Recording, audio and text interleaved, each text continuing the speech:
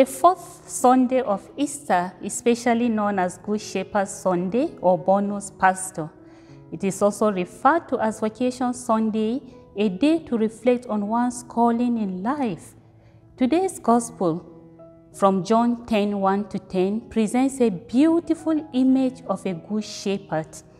By distinguishing himself as a good shepherd, Jesus implies that there are bad shepherds out there. He emphasizes the qualities of a good shepherd, which include personal knowledge and sacrificial love for the sheep.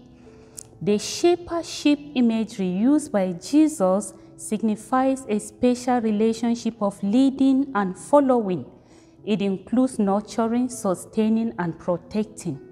This imagery reminds me of a familiar role of our local cattle rearers in Nigeria